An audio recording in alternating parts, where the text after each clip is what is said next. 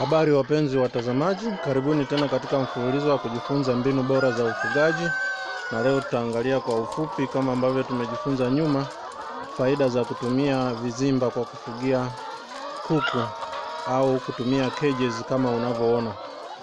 Kwa hiyo tunapata faida kubwa ya msingi ambayo ni kupunguza magonjwa kwa asilimia kubwa, kwa kuwa kinyesi ambacho kinatolewa na hawa kuku kinapita chini moja kwa moja. Kama ukiangalia hapa, huwezi kuona kinyesi kabisa, kwa sababu ya matundu yanayokuwa kwenye hizi cage, kwamba kuku wakijisaidia kinyesi chao kinadondoka hapa chini. Kwa hiyo mbolea yote inakuwepo hapa chini.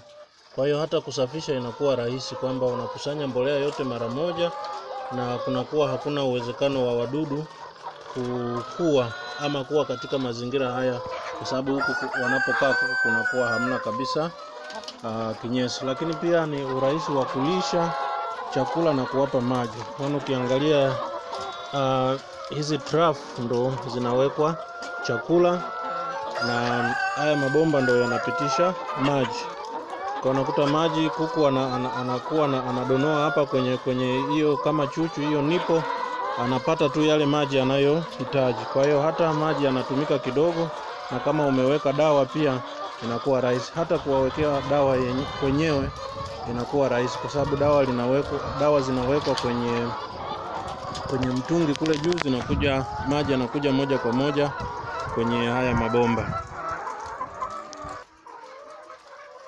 Kwa hiyo ukiangalia hapa maji yetu haya hapa yamekwisha changanywa dawa. Kwa mfano kama unawapa dawa unakuja unaweka kwenye vimitungi vidogo hivi. Kwa hiyo maji yanaenda automatic moja kwa moja, kunakuwa hamna haja ya kuchanganya dawa na, na maji kila wakati na kuweka kwenye zile drinker za kawaida. Lakini pia ni rahisi sana kukusanya mayai kama unavyoona hapa, yai likishatagwa huku linatembea moja kwa moja linakuja, wewe unakuja tu unakusanya hapa. Lakini faida kubwa pia ni kujua kwamba kuku yupi anataga na kuku yupi hatagi. Kwa mfano hapa kuna hawa kuku wawili kwenye hichi kizimba. Kizimba kinaanzia hapa kinakuja mpaka hapa. Ukiangalia hapa chini tunaona yai moja. Kwa hiyo unakuwa unajua kwa siku hao wawili wametaga yai moja, ina maana kuna mmoja hajataga. Usipoona mayai kabisa kwa siku nzima, ina maana unajua hawa wawili hawatagi. Kwa hiyo kama wanakaribia kuondo, kuondoka, yani kwamba wamechoka kutaga, unaweza inakusaidia pia kujua kwamba ni kuku wapi uwatoe ili kupata faida zaidi. Kama wangekuwa wanafugwa tu sehemu ambapo hamna vizimba au hizi cages, inakuwa ngumu kujua kuku wapi wanataga na kuku wapi hawatagi. Ina maana kwamba ingekuwa kizimba anakaa kuku mmoja, basi ungekuwa unajua kabisa huyu kataga leo, huyu hajataga. Lakini kama unavyoona hivi vizimba vingi ni wawili au watatu. Kwa hiyo kama ukiona mayai matatu na wako watatu, unajua basi wote wametaga kwa siku hiyo. Faida nyingine ni urahisi wa kukagua kuku kwa maana ya afya zao.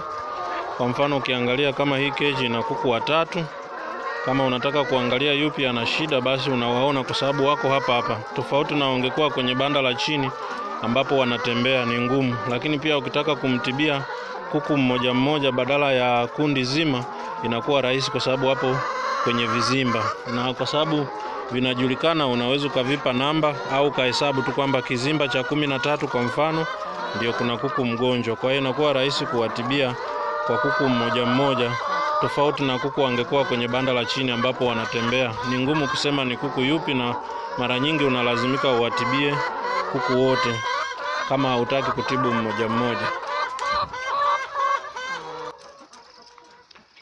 Pia sio lazima uwe na kuku wengi sana. Keji hizi hapa zimeunganishwa tu, unaona ni keji ndefu mpaka kule, lakini e, inatoka hapa mwanzoni na inaishia hapa. Hii inaweza kutosha kuku tisini na sita. Kwa hiyo hata kama una kuku mia tu unaweza ukanunua kipisi hiki peke yake ukatengeneza mfumo kama huu ikakusaidia sana wakati wa kufuga. Kama nilivyosema, faida zake ni nyingi kama ambavyo tumejifunza.